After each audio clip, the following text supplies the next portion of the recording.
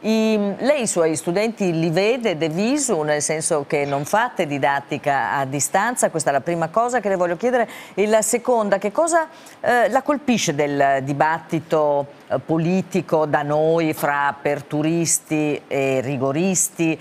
E, mh, di fronte alla sofferenza eh, di tante eh, categorie per la grave crisi economica, la sinistra italiana mh, sta facendo le cose giuste secondo lei? Glielo chiedo anche perché so che lei eh, segue con grande attenzione, con grande passione quello che succede nel suo paese, l'Italia.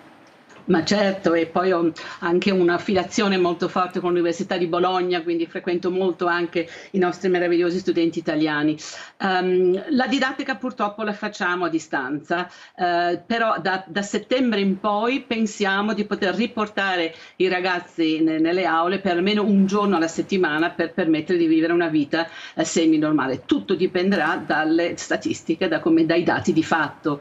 Ed è questa la, la cosa essenziale che mi colpisce molto nel dibattito italiano, che c'è un rapporto molto stretto fra Uh, la politica e una specie di sfiducia nei confronti della scienza. I movimenti no-vax eh, locali italiani sono veramente contro la scienza um, uh, si, o intrecciano la sfiducia verso la classe politica con la sfiducia verso le autorità scientifiche. Ovviamente in questo momento preciso non si può governare senza un apporto massiccio dalla comunità scientifica, quindi nella, nella, nella testa dei populisti in generale tutto questo diventa una specie di complotto con le elite che in un certo modo sarebbero starebbero, starebbero ad ingannare i poveri cittadini. Questo succede molto di meno in Olanda, la resistenza Novax è una resistenza di stampo molto più protestante, si potrebbe dire calvinista, la gente ha paura di perdere le libertà individuali, questo è un paese in cui non si impongono neanche le carte di identità, figurarsi dei mm. controlli più diciamo stretti e quindi è un altro tipo di, di, di rivolta e più al nord si sale, penso ai paesi scandinavi, più l'aspetto antiscientismo scompare e appare invece un populismo molto più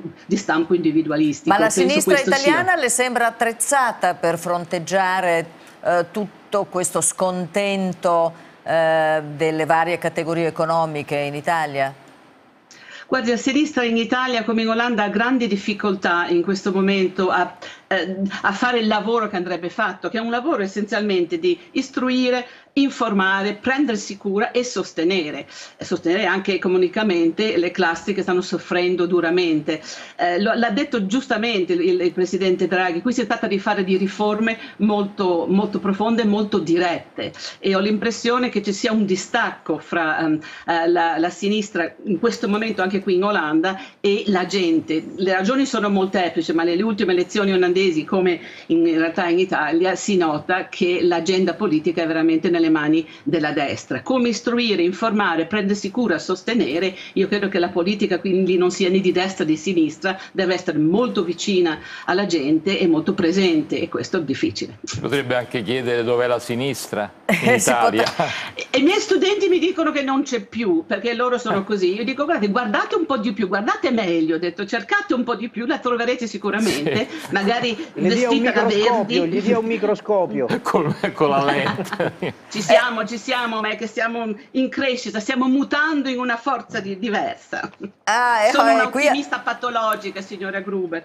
E, e, e, allora sì, questo richiederebbe ore di dibattito, ma mh, mm, abbiamo, avremo molte altre puntate di otto e mezzo. Però voglio... Eh...